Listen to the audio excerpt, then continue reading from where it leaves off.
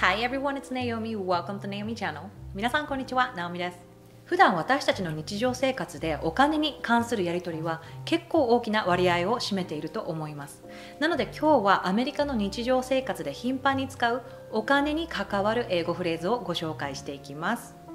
知っているととっても使えるし英語で相手の言っていることがわかるようになるのでぜひ最後までご覧いただきご参考としてください最近のリピート練習動画の中でもご紹介したフレーズもいくつか含みますが今回の動画ではより詳しく説明をしていきますまず最初によく使われるお金に関する英語フレーズは Do you take PayPay? Do you take PayPay? Do you take PayPay は PayPay という支払い方法は受け入れていますか？という意味でつまり PayPay で支払うことができますか？という意味としてよく使います最近はいろいろな支払い方法がありますよね。PayPay とか ApplePay とか。その他にもこう小さいお店とか売店でクレジットカードが使えるか確認したしたい場合もこのように Do you take credit cards? と言ってクレジットカード使えますか？とよく聞いたりします。Do you take 何々で何々で支払えますか？という意味として使います。その他にも Do you accept 何々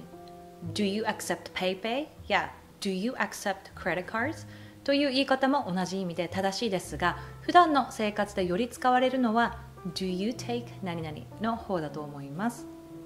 それでは次の英語フレーズは Can you split the bill in the middle? Can you split the bill in the middle? Can you split the bill in the middle が使われる場面はよくあるのはレストランです。これは友達と2人で食事をした際などにお店の人に割り勘にしてくださいという意味で使えます。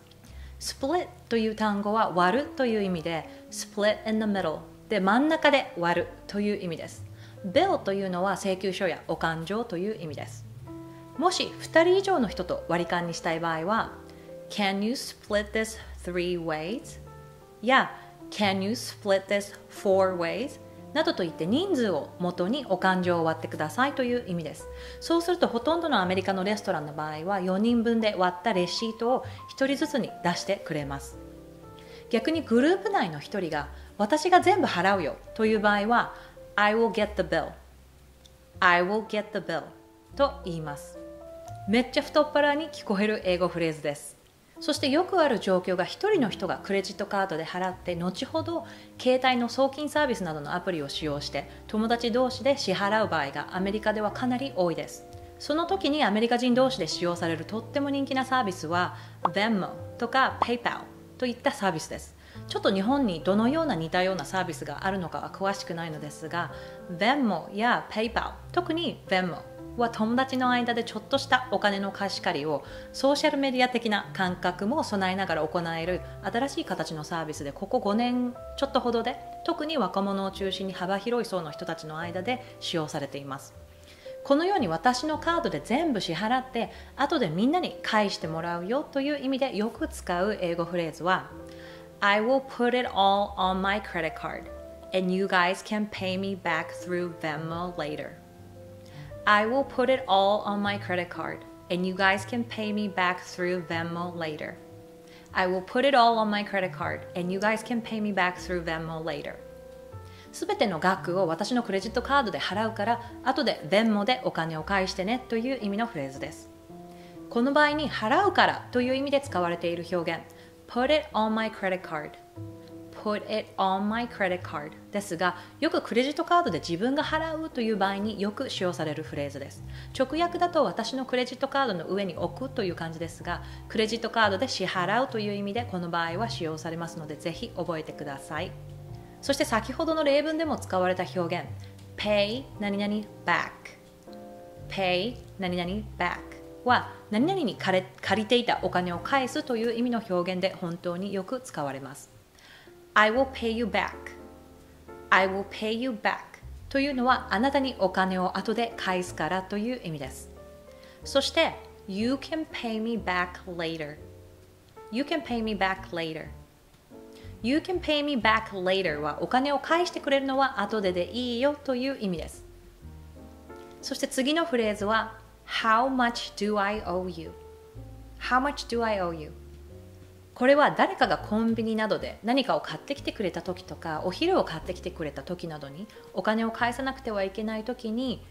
これはいくらだった？いくら返せばいい？という意味でよく使うフレーズです。ここで使われている owe というのは借りるという意味の単語です。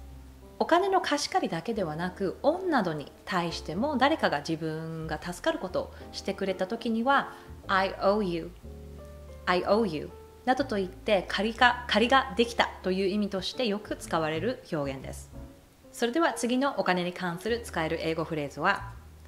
I need to find an ATM to get some cash. I need to find an ATM to get some cash. こちらのフレーズは現金自動預け入れ機を見つけて現金を下ろさなきゃいけないという意味です。アメリカでは基本皆さんあまり現金を持ち歩きません。どこでもクレジットカードとかデビットカードとかそしてモバイルの支払い方法などで払えるから逆に現金を持つとこうなくしたら損だしポイントも何もつかないというような感じでみんなその他の支払い方法を好んでいます。ATM というのは現金自動預け入れ支払い機のことです。Cash は皆さんもご存知キャッシュ現金のことですよね。それでは次のよく聞くお金に関する英語フレーズは You will get a refund on your credit card within two weeks You'll get a refund on your credit card within two weeks. これは2週間以内にあなたのクレジットカードに払い戻しがありますという意味のフレーズです。この例文で鍵となるのはこの言葉、refund。これは払い戻しという意味の単語でサービスに満足がいかなかった時とか物を返品した場合に必ず使われ使われる言葉です。例えば Amazon で購入をした商品を返品する場合返品が完了すると Amazon 側からこのように2週間以内にクレジットカードへの払い戻しがありますなどとよく言われます。You will get a refund on your credit card within two weeks. ぜひ身につけてみてください。お金に関する英語フレーズはまだまだいろいろあるのですが、今日はまず押さえていただきたい重要英語フレーズをご紹介しました。ぜひこの動画を機に使えるように、そして聞き取れるようになりましょう。ナオミチャンネルでは普段日常英会話やビジネス英語習得に役立つ実践的な知識やアメリカの情報や映像をお届けしていますのでチャンネル登録がまだな方はぜひチャンネル登録をよろしくお願いしますそれでは皆さんまた来週 Thank you for watching my video. I will see you next week. Have a good one. Bye.